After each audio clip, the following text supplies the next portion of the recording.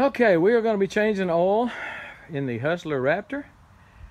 And it's not hard at all to change oil. Let me show you how to do it. It's easy. And little, if any, mess. So the first thing you need to do is locate the filler spout. Mine has has the little nipple on the side of it.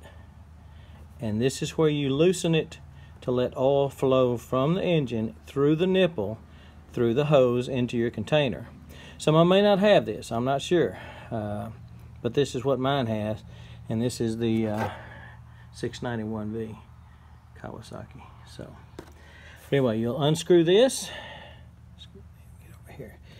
Unscrew that. It's a, um, uh, let's see, 10 millimeter and then once you get it broke loose get it a little bit loose you can use a um, like a Phillips head screwdriver. If you got a little short one it have to be a pretty short one. Phillips head screwdriver to bring it out the rest of the way. You'll see oil coming through here. You should have gotten a tube with the uh, with the mower when you bought it. And uh, if not then uh, you'll have to um, you'll have to get a tube. Looks like probably a 3 8 inch tube uh, that fits over this drains down, uh, unscrew this, oil comes out, and then screw that back in, put oil in. So let me show you the process. Here's the hose that should have come with it.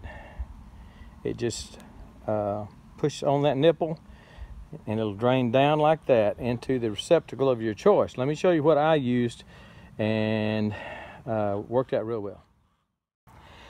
I just used a tall Folgers can. This is a was that a three pound? Yeah, three pound Folgers can. The tall one, not the little short one. Because you can't, I've got an oil, oil drain pan that I use for my vehicles and it will not go under there. Will not slide under there. So you can take this right here and go in from the side and place it perfectly for that hose. You'll just put the hose not going to be able to really show that well. But the hose will come off your engine and the hose will just sit here like this and fill the, fill the can. can. Slide it under there. I've got my mower deck raised up all the way. Slide it up, and it probably doesn't matter. It might, but I've cranked it up all the way. Slide it up under there, under the hose. Make sure you're under the hose. Make sure the hose is not um, is not going to drip down on the drive blade, the drive belt okay? Because you don't want to get oil on your belt on your drive belt. So let me show you the uh, putting the hose on it and we'll uh, we'll drain the oil.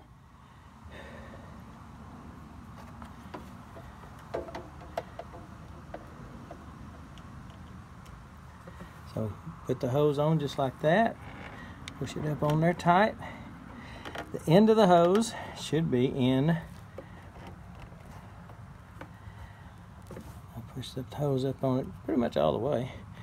The end of the hose should be inside the coffee can.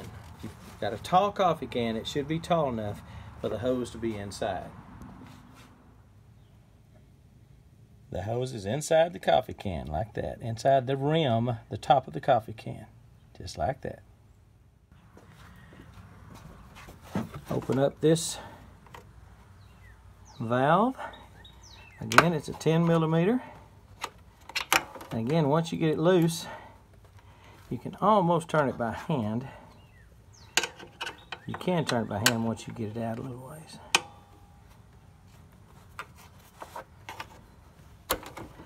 Once you get it open,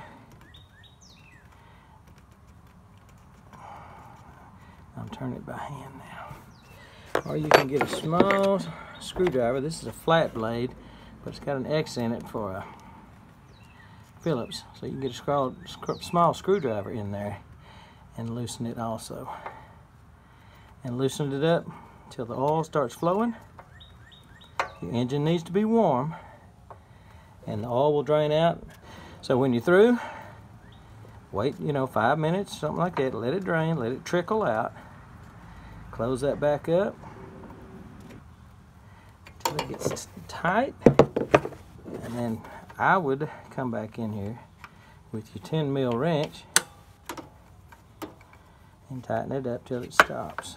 Don't put a, you know, don't put a lot of pressure on it. It's tight enough right now, and it's plastic. That little nut's plastic, so I just I'm putting just just a little bit of pressure on it. But it's stopped. It's tight. I'm gonna take the hose off and just let it fall down in the bucket in the um, coffee can, and we're done. Ready to put some oil back in it.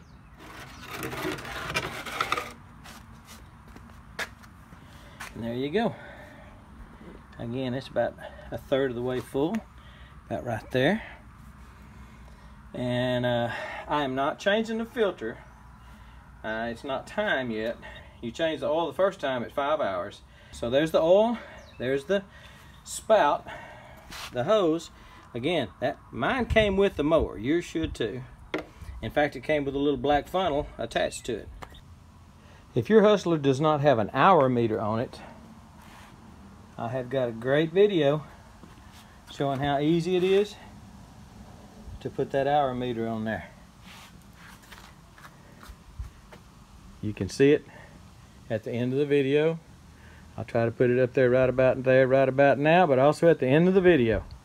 How to put an hour meter on a Hustler Raptor and probably most any zero turn. That's the only way you're going to know when to change oil and when to do your maintenance.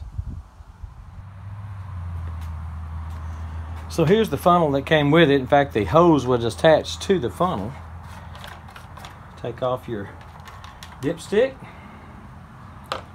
Wipe it off.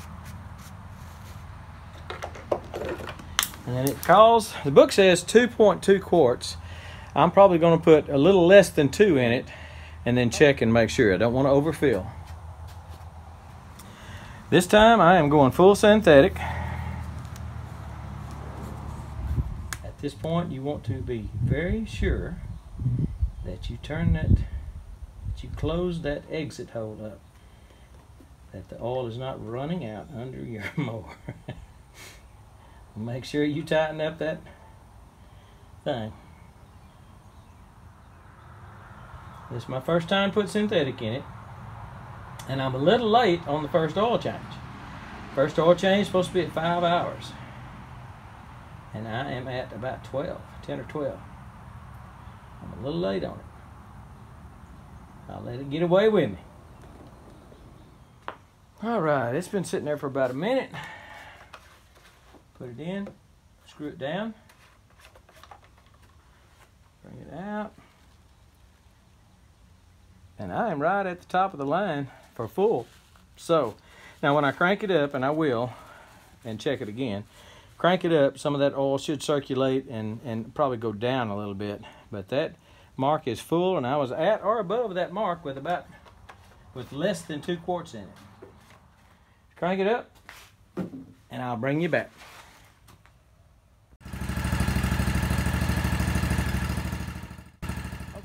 And that is still just above the fill line. I mean the full line. Now if I just put it in there and don't screw it down, it's perfect. It's right on the fill line. So when you screw it down in there, it gives it another half inch, brings it up to showing more than full. So anyway, that's the that is how to do it. It's got some fresh synthetic oil in it, and we're ready to mow for book says another hundred hours. Let's give it a shot. Now, if you needed to change the filter, let me show you that. Right between your dipstick and your oil spout down on the bottom is this filter. That is the filter right there. And it will just spin on, spin off. And I have, I'm not going to change the filter because it's not time yet. And uh, when it is, it just looks like it's spin on. I mean, take off, spin back on. I guess that's it. We're ready to go mow and it needs a mowing. All right, we're gone.